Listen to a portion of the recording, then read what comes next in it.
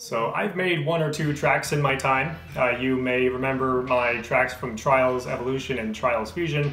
Uh, as you can see behind me, got a Trials Fusion flag, which was given to me by the uh, fine folks over there at RedLynx. It's also got all their signatures. So uh, they gave this to me as part of a kind of a thank you for, for all of the effort and tracks I put into Trials Evolution.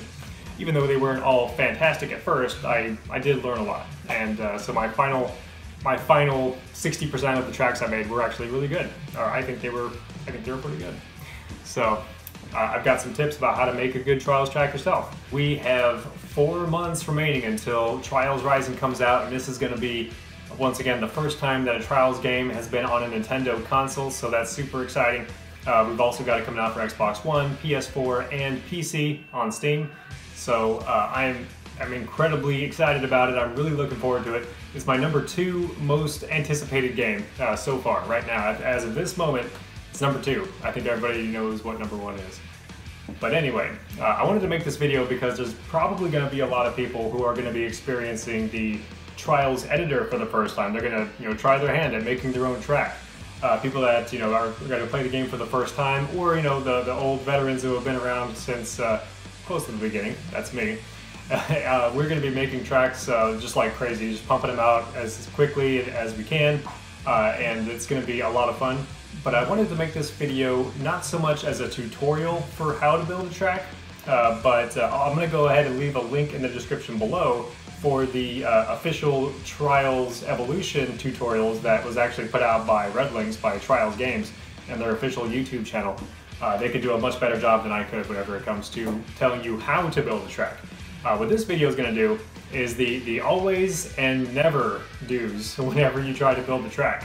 Uh, and I wish somebody had kind of uh, filled me in on all this stuff whenever I first started building because my first tracks were not good. I mean, they were okay uh, for, for being brand new tracks, for me never having touched the editor before. I mean, they functioned, they had a beginning and some obstacles and then an end, so I guess that's something.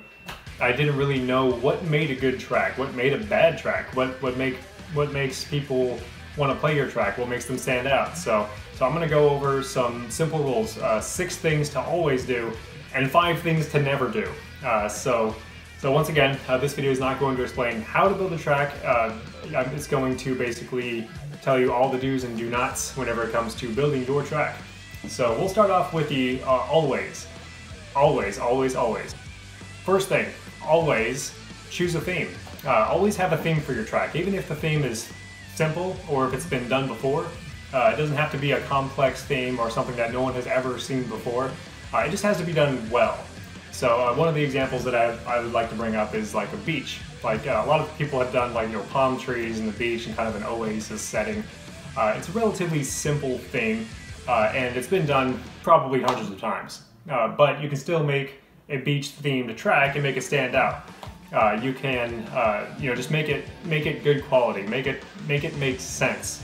Uh, don't you know make choose a beach theme and then put like a an industrial an industrial uh, park or an industrial uh, wasteland uh, in there or like objects that don't fit the theme like a spinning gear or futuristic cars in the sand and stuff. I mean you can if you want it, but it's better if you choose a theme and stick to it and put every object on the driveline in the decoration that makes sense for the theme. So beginning, middle, end, have a theme. Make your theme. Number two, smooth out your driveline using custom collisions. Uh, this is a big one for me personally. I, I hate whenever I'm playing a track, whether it's uh, uh, you know one of the top rated ones or one that's you know, on the brand new trials feed. I hate playing a track where it's bumpy, like I'm driving in a straight line or I'm driving up a ramp and I notice my tires are, are bumping uh, up it or driving down like if they're just bouncing like why are my tires bouncing? So so this this is what's key. Whenever you're building a track make sure you play it until you are sick of playing it because every single time that you play it you will notice certain things that are wrong or certain things that could be improved rather.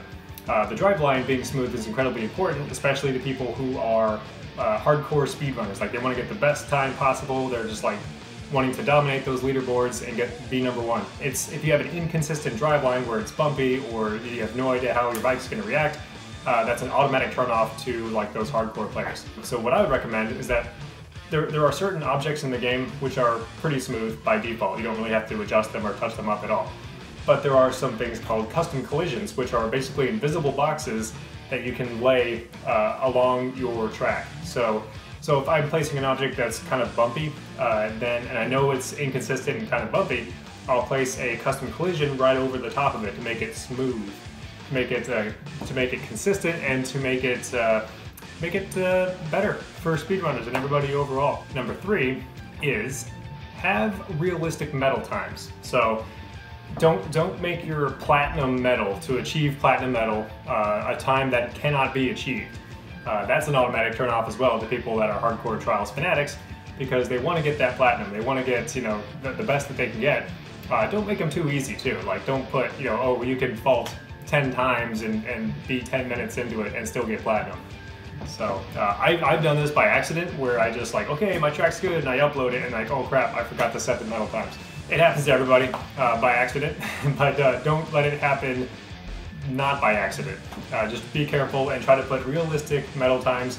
Uh, you want to make the platinum medal basically uh, achievable with with certain expectations. Like if, if you want to make a a medium difficulty track, don't don't make the medal times just ridiculously unrealistic to where only like the top 0.01% of people can get it. Number four, don't allow bikes that can't complete the track. So if you're gonna if you're gonna make a track, just make it to where only the bikes that can pass the track are available. So uh, I mean, it's pretty straightforward. Uh, so uh, yeah, it's, it's, pretty self-explanatory. Don't uh, let your track, don't let players be able to select the slowest bike available if that bike is unable to pass certain obstacles in your track. So that's that's that. Just test out your own track using all bikes, and then just allow the bikes that are able to pass uh, to that track. That's basically it. That's number four. Number five is uh, choose the track's difficulty comparatively to the built-in tracks. So, so if you're a really good rider and you've never built before, like, oh, I, I can just knock out those extreme tracks. They're easy, they're nothing. So don't make an extreme track that, that, would, that would be labeled extreme in the game and label it as easy because it's misleading and it turns a lot of players off immediately, uh, even, even pro players. Uh, I've, I've actually rated tracks down that were okay tracks, but they were, they were way off when it came to the difficulty. Like there would be some extreme uh, some extreme obstacles in there, but the difficulty would be labeled medium. So uh, that's that's just my stance on it. Uh, I would just you know play through the built-in tracks of all the previous Trials games if you haven't already, uh, just to kind of get familiar with uh, what what's expected of an easy, medium, hard, and extreme track, and just set your own track difficulty comparatively. So just don't don't make it overkill. Don't make it way too easy or too hard, and then label it wrong. Uh, that's just that just messes everybody up. So don't do it. Easy, another easy one. Uh, number six, uh, choose a unique thumbnail for your track. Uh, this will be seen by everybody. Don't take a picture of the rider or the base editor world. It just looks lazy. Don't do it. so uh, your thumbnail is incredibly important. It's, it's more important than a lot of people realize because it's kind of like people flipping through a magazine or, or scrolling up and down a website if they see something that catches their eye, they're going to pay more attention to it. So if you're gonna, if you want your track to stand out, take a unique picture, one that looks cool and kind of captures the essence of the track without being lazy. Like just don't take a picture of, of the bike or the rider or just like a checkpoint or something stupid or built in. Uh, just make it look unique, make it look interesting, so that when people see it, they do a double take. Oh, that one looks good, and pick it. So that's it. That that's all for that one. Okay, rule number one out here, always, no, never. Never, never do these things. Rule number one for the nevers is uh, have inconsistent obstacle difficulty. This kind of goes along with uh, one of the things I mentioned earlier with the, the difficulty of the track. You want to label it correctly, but you also want to make it to where every single obstacle in your track is consistent with the difficulty that you selected. So, for instance, if you put a track out as easy, it's an easy track. Let's say you have a bunch of easy jumps and everything's going smooth, and then all of a sudden there's a crazy extreme ninja obstacle right in the middle. Uh, that's a no-no because it's inconsistent and it doesn't match your track's difficulty, uh, what you had selected. So that is uh, my number one thing for, for that because that, that can just kill it. That can just kill it. Can be a total buzzkill and it can ruin a track from from being great. It could be a good track, but it could be great if the obstacles were just tweaked a little bit. Uh, okay, so number two, uh, have sudden camera angle changes. Do not do that. do not have sudden camera angle changes. So uh, you can cut, you can set your custom camera. Uh, like if you wanted to keep the built-in camera, which is you know follows the rider uh, in its default mode, that's totally fine, and that's what I would personally recommend, uh, just because it's it's kind of tweaked to perfection. I mean, RedLynx knows what they're doing when it can, when it comes to how the camera behaves. So I would only use a custom camera in special modes, like if you want to make a a really cool ending for your track and you want to have like cool camera angles that zoom or go to a different angle or whatever you want to do, uh, I would I would reserve special camera angles for two things: uh, special events like the ending, or like massively huge jumps, and you want to get like a crazy angle. That that would technically work, even though I'm. The only thing I would do with that is kind of pan it back a little bit, which I've done a few times in my tracks, just to kind of get a wider angle. But I wouldn't do anything crazy like do an overhead cam or like flip it to the other side or something weird like that. That's that's too much. It's too sudden. Uh, it's it's jarring and it just kills the experience. So don't do it.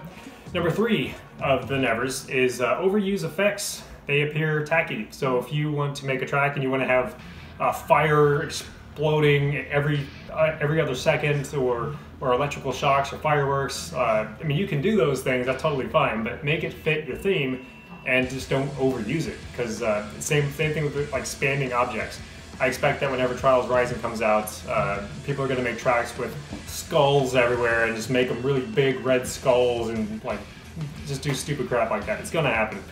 Uh, so don't overuse effects or similar objects. Just don't spam the same thing over and over again because it looks lazy and tacky, and it's not going to make your track any better. That's just my my personal stance on it. Uh, just put some thought into your track put some thought into the decor. Uh, so number four, this one pisses me off. Don't use floating objects, please, God.